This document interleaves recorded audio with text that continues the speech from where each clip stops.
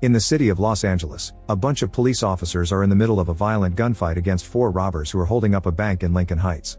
While two of the robbers are inside keeping an eye on the hostages, the other two are fighting the cops with automatic rifles and full body armor, which is allowing them to overpower the police and their puny pistols.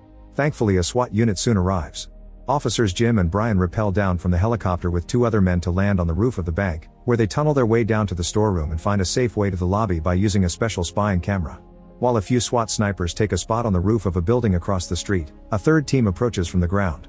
At that moment, one of the robbers outside tries to escape in a getaway car, but a sniper quickly takes him out with one shot. The other robber continues to fight the cops, however, the ground unit soon reaches him and takes him down too. The two robbers inside start to panic, and the ground unit sends a secure phone for a SWAT negotiator to try to arrange the release of hostages.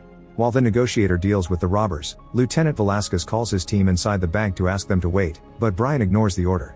He drops into the storeroom, and while Jim has no choice but to follow him, Brian sneaks into the back of the main lobby to get in a good position to shoot down the robbers. Velasquez keeps calling him but all the calls are ignored. Getting more nervous by the second, one of the robbers grabs a woman and aims his gun, ready to kill her.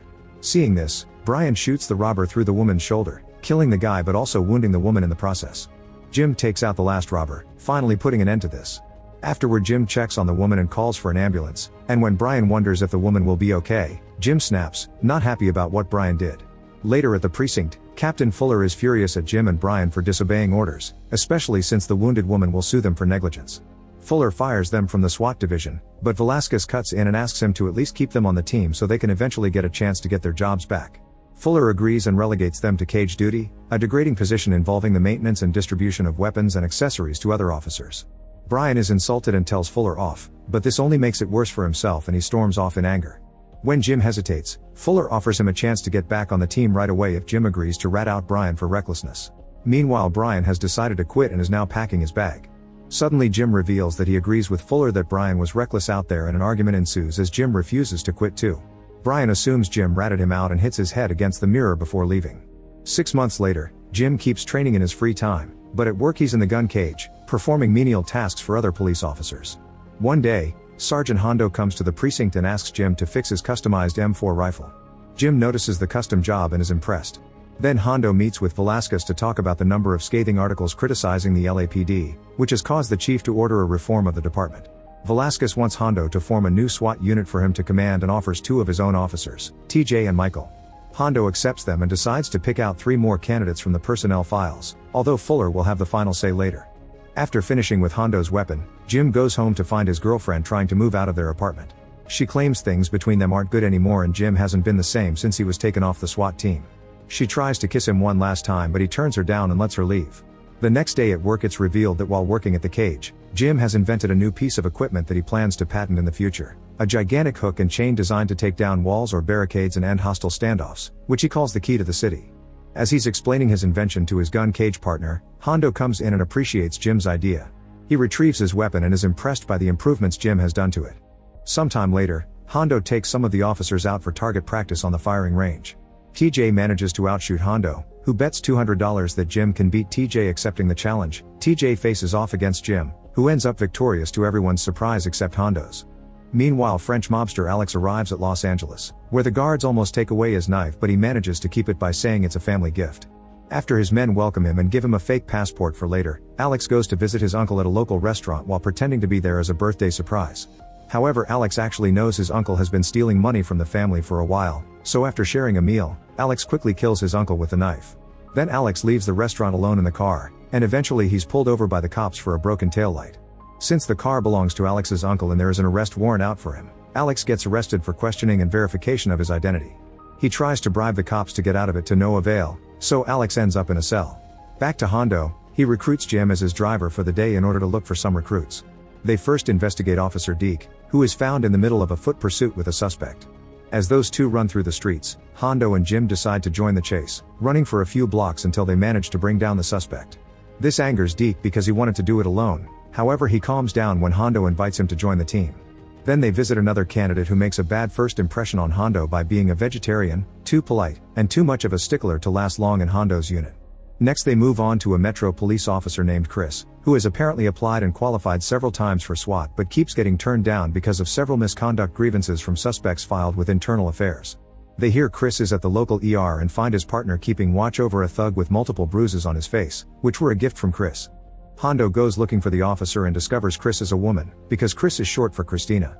This makes Hondo realize that Fuller probably kept Chris off the SWAT roster because of her gender and the misconduct complaints were an excuse, especially when Chris tells Hondo that most of the charges against her came from resisting violent male perps that couldn't deal with the fact that they were manhandled by a woman. Hondo likes her right away and offers her a position on his team. When they return to headquarters, Jim asks Hondo if he's planning on toying with him for another day or if he's actually going to tell him why he took him on this recruitment run. Hondo asks Jim if he wants to be on the team, and when Jim hesitates because he knows Fuller won't approve, Hondo asks if Jim gave up Brian. When Jim says he didn't, Hondo gives him the last spot on the team. Later during the meeting to discuss the team, Fuller rejects both Chris and Jim as expected, but Hondo refuses to back down. Fuller then offers a compromise. He'll accept the group as it is but if they fail the preliminary trials needed for SWAT, then Chris goes back to her subway routine and Jim and Hondo will both be taken off the force. Hondo agrees, confident his new team can do it. Soon training begins and squad members get to know each other. It's revealed that Jim's ex-girlfriend is Michael's sister, and since Michael assumes Jim did her wrong, there's some friction between them and a fight must be stopped by the others before it gets nasty.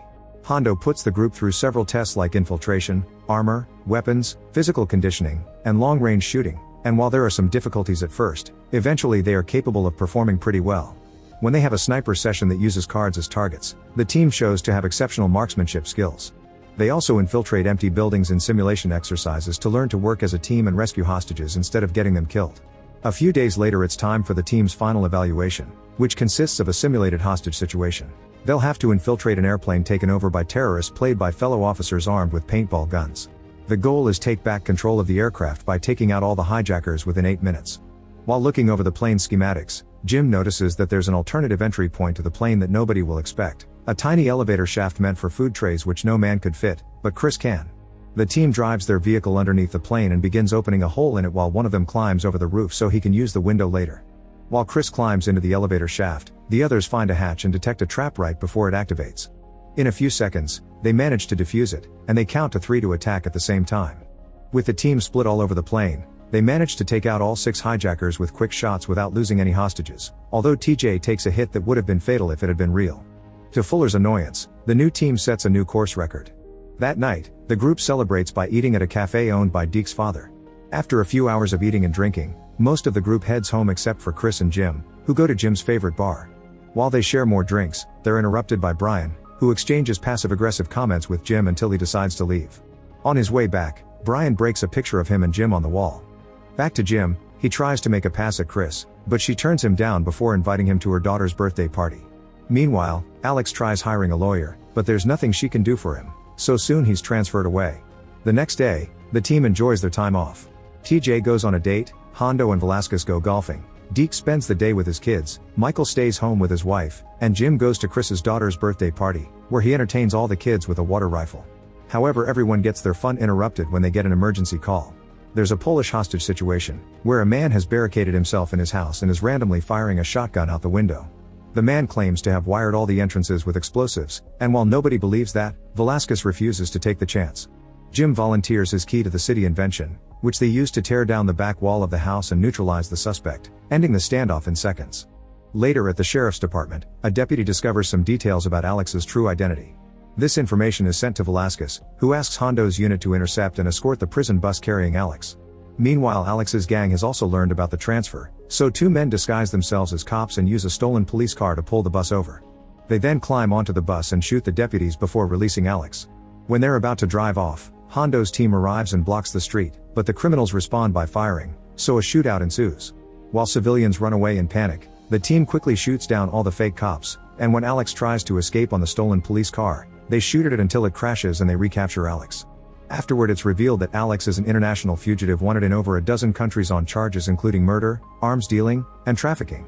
Reporters are following the case closely, so when he's being led to a holding cell, Alex uses the chance to face the cameras and offer $100 million as a reward for anyone who can break him out of jail.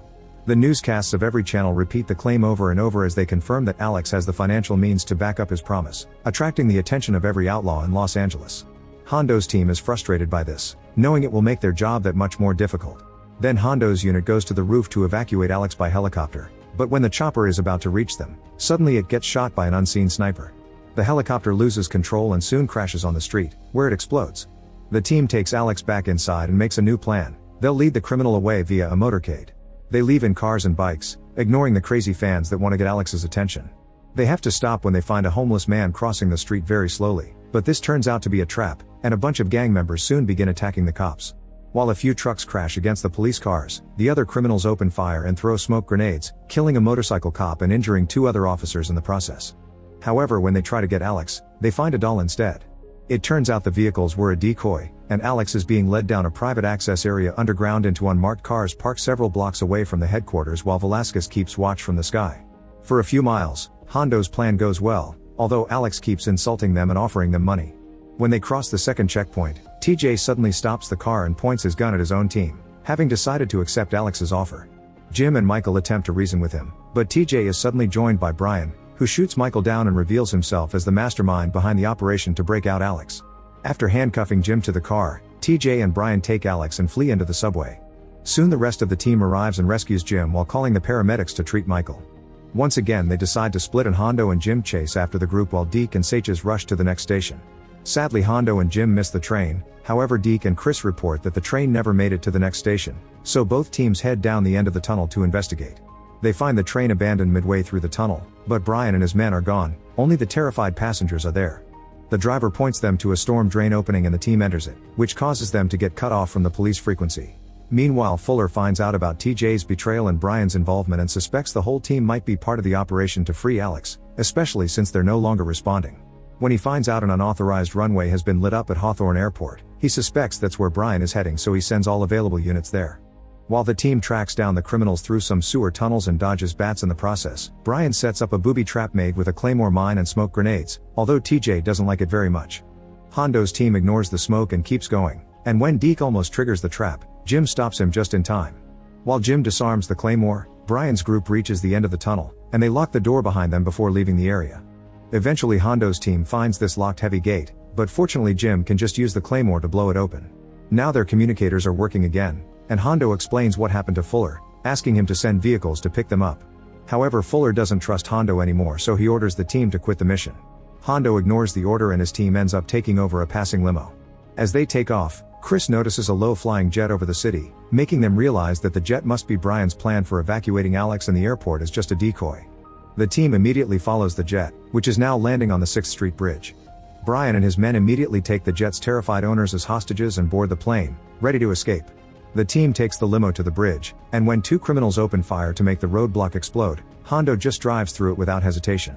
The cops open fire to try to stop the plane and when it doesn't work, Hondo hits the plane's landing gear right before it takes off, causing it to crash. Another gunfight ensues between SWAT and Brian's men, during which Chris gets hit on the shoulder. Alex tries to run away, but Deke chases him on foot and immediately recaptures him. Brian leaves the plane safely by using a hostage as a shield, then he repels down from the bridge and Jim goes after him. Meanwhile Hondo confronts an injured TJ, who says he regrets his actions and asks about Michael. After Hondo confirms that Michael is expected to recover from his injuries, TJ pulls out his gun and self-deletes. Back to Jim, he repels down from the bridge too and lands on a train yard, where Brian takes him by surprise and stabs his hand before running away. Jim goes after him, and after dodging a few moving trains, he tackles Brian to start a hand-to-hand fight. They exchange a bunch of hits on top of the rails, and when a train suddenly approaches, Jim kicks Brian's head into its path, killing him instantly. After Jim rejoins his team on the bridge, Fuller arrives and congratulates everyone for their excellent work, but he also points out that the job isn't finished yet. Alex is still in their custody and needs to be transferred to a federal prison, so the team takes a SWAT truck to deliver Alex to the authorities. Sometime later after successfully delivering Alex, a report of a robbery in progress comes onto the police band.